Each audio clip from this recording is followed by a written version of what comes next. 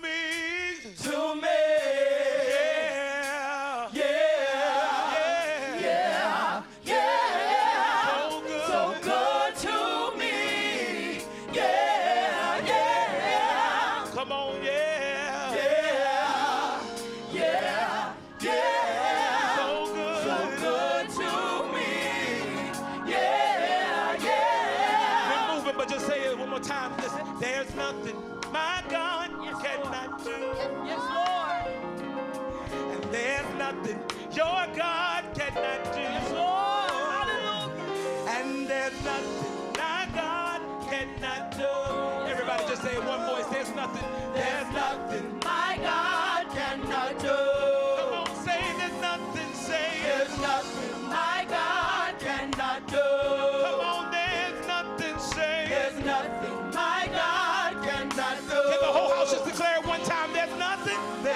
Nothing my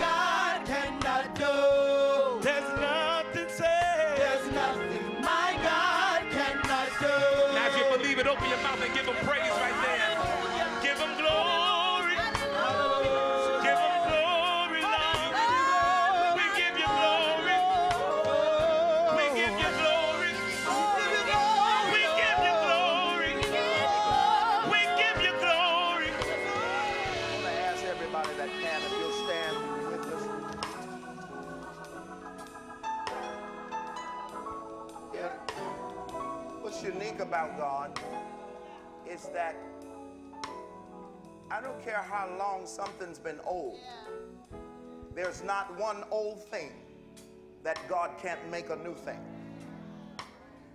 You know, in, in the everyday cycle of life, you can never relive history. It cannot be rewritten. It cannot be re-recreated. It can be uh, imitated. It can be reenacted. But you can't do that again. God is the only one with the power to take all your mistakes, take all your bad decisions. I guess I'm in church with perfect people. Take all your wrong turns and turn your life around, clean the slate, and make everything new. Oh man, y'all don't know, y'all don't know who y'all worshiping here. There is not one thing that God can't make new. Now you can be married with old all you want, but knowing that I serve a God with that type of power, you got to wake up every day and divorce your past. Come on. All I need is the memory. I don't need the relationship. Because God is making all things new. Now, this song is singing about God. Let's sing about God to God. You make.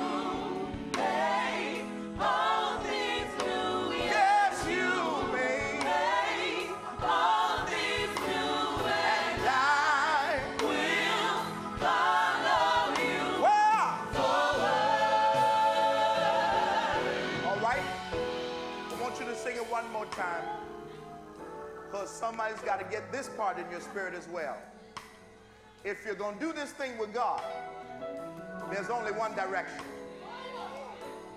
When, when serving God, reverse is hard to manage. Because the only time he tells you reverse is when he said, go back and complete your first work. That means you didn't go the right way from the get-go. But everything else is what? Come on, speak to your neighbor and say, come on, tell them, forward.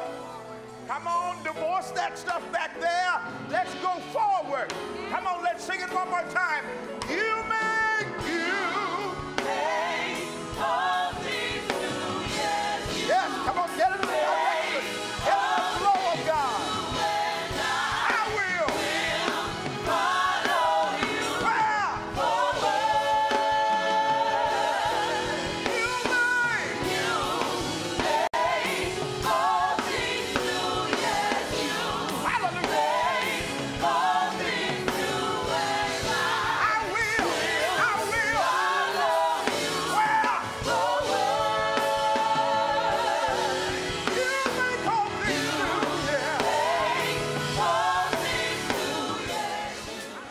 I nobody in here.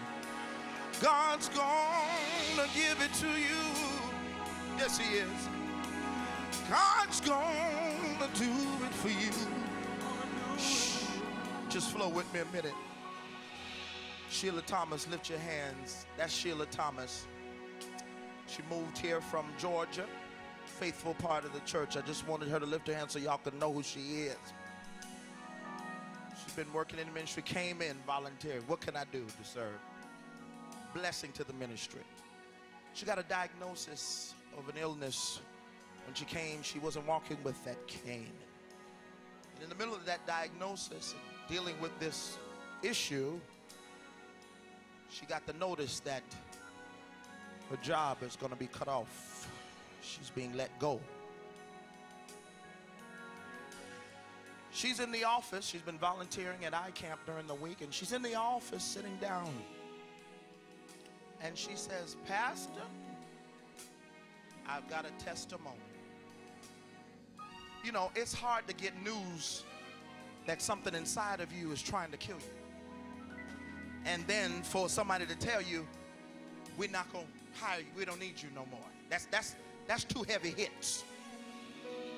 He's gonna give it to you.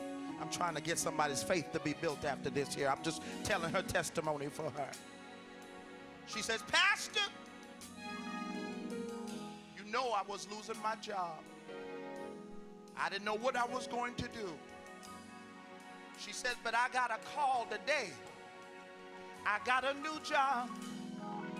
And I won't miss one days of pay.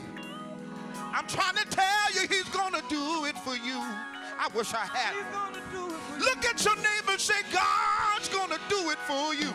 God's gonna do it. God's gonna do it for you. God's gonna do it for you. And I was never worried because I knew it. And she said, Pastor, you know what's about to go down Sunday. I said, it's about to be a heavy tapping in here because she's dealing with an issue. But on the other hand, God's provision and protection plan. See, believers, we've got a divine health insurance. See, health insurance is the stuff you need while you're sick. He's making sure she doesn't lose anything. While, come on, you're fully covered right now. He's gonna do it for you. Look at her. That's a testimony.